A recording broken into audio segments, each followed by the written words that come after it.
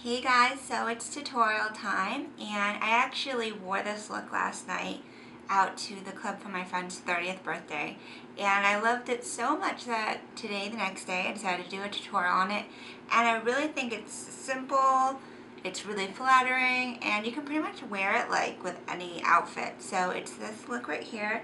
It's a very red tone, warm, brown smoky eye and I just love warm neutrals. So it's like right up my alley. So I'm going to go ahead and do it. I got the idea from Jaclyn Hill 1 on YouTube. Um, but I just changed it up a little bit. Um, she used a lot of MAC products. Today I'm going to use a Ben Nye, mainly Ben Nye eyeshadow um, palette that I have, which I'll show a picture of. Um, because I don't use those eyeshadows a lot, even though they're really good. So um, let me go ahead and show you what I have on right now. I am wearing um, the infamous, infamous CoverGirl Outlast Stay Fabulous Foundation in shade Golden Tan. Please excuse my jacket, my jacket nails.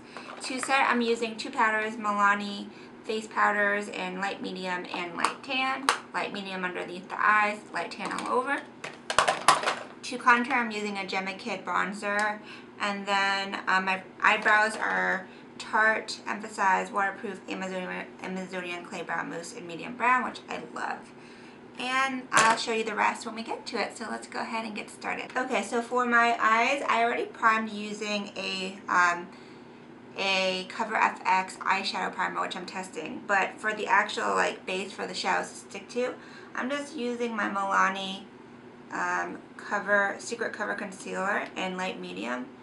And I just wanted something creamy this is going all over the lid. Okay, so let's do the first shadow, which is going to be your transition color. Um, actually, more of a blending color. This is a peachy light kind of shade that's going to go right in this area above the crease, just so that a blending easier later on. This is the Universal Blender from Sedona Lace. Now let's go on to the lid color. I'm using a flat synthetic brush from um, Sedona Lace. All of these are going to be my Vortex Collection brushes. So I'm going to take a very um, warm brown, brownish red shade, almost like a rust color, and pack it on my lid. And this is going to be like the essence of the look. I can definitely see this looking good on blue eyes because red just brings out blue beautifully.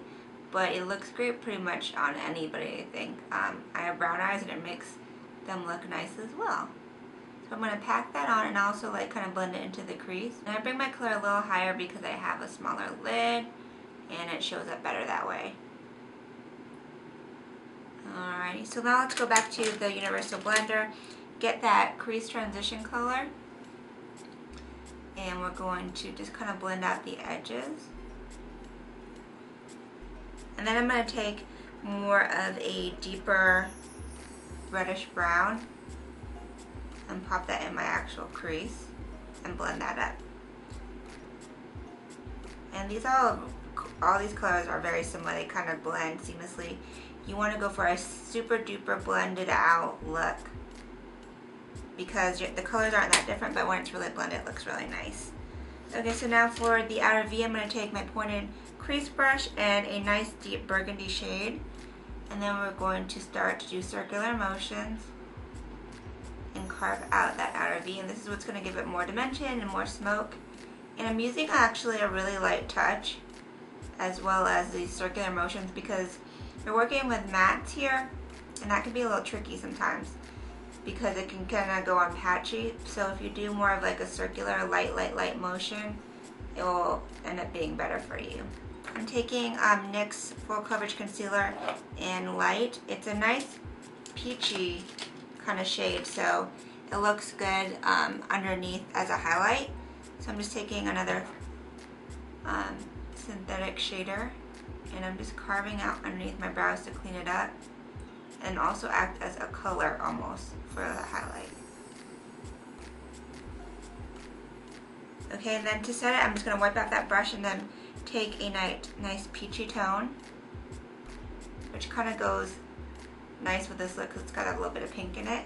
And then I'm going to take the same brush again and get a shimmery kind of, I guess this is kind of like a light copper shade with gold in it and it's going to go in the tear duct and blend it in to kind of lighten up the look a little bit. And then I'm going to put a smidge right underneath the brow bone as well. Just to kind of do a highlight. Okay, so let's move on to liner. I'm using the L'Oreal Infallible Gel Liner. And I'm going to use my pointed liner brush from Sedona Lace.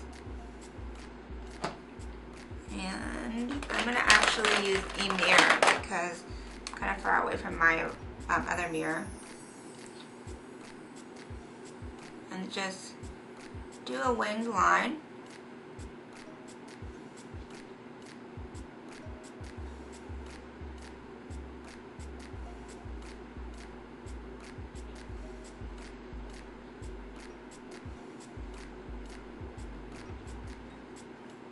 Okay, and then another trick that I like to do is take a regular black pencil and dip it in gel liner.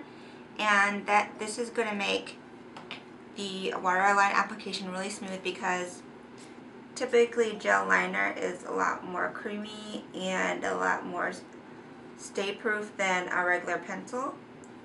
And the pencil shape fits right into the waterline perfectly, no poking because it's kind of like a rounded edge and it's small.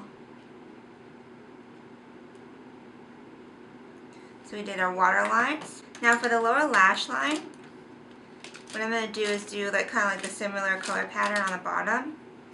So I'm going to, first I'm going to set it with black, just because I want this gel liner to really stay. And a little bit, tiny bit right on the lower lash line to smoke it out. Then I'm going to wipe that off and get that burgundy shade go underneath that. Give it some of that color from the top. Okay and then I'm going to take wipe that off and take that reddish brown that you put on the lid and go right underneath that again. Because it kind of warms it up. Okay? Now I'm just kind of kind of compare both sides. I'm going to put a little bit more of that reddish brown um, blend it up a little higher.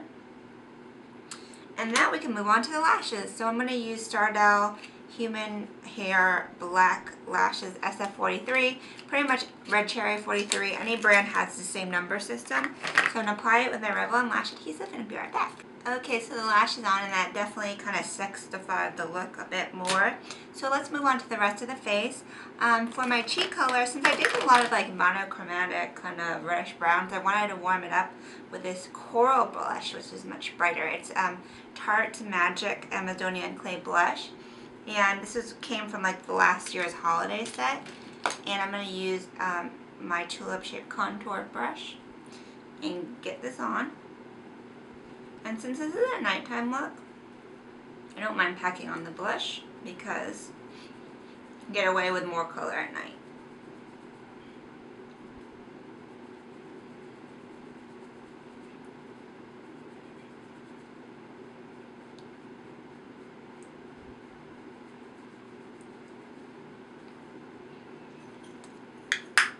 Okay, so now for the highlight, I'm using Archie's Girls Flatter Me Pro Matte Face Powder. And I'm just actually just getting, I'm not getting the um, hearts, the pink hearts, I'm just kind of getting the light pink as my highlight. And it makes a really subtle but gorgeous shimmer on the cheekbone. Very, very subtle. Okay. So now for the lips, of course we're going to do a nude lip because this is like a clubbing look. I'm going to take that same concealer, the Milani Secret Cover, and use this as my lip color.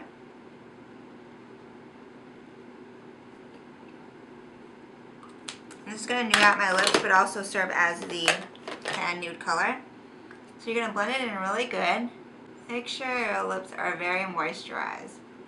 Okay, now I'm going to take NYX's Nude Truffle Lip Pencil, and it's just like a brown outline. This will help make the look a lot more wearable.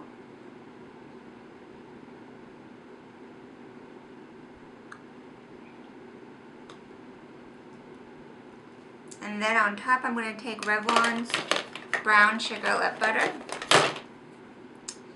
And it's kind of like um, sheer, so it kind of just gives it a nice glossy finish.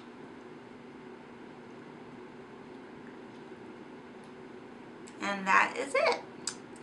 So this is the final look. I'm just trying to check and make sure everything's even.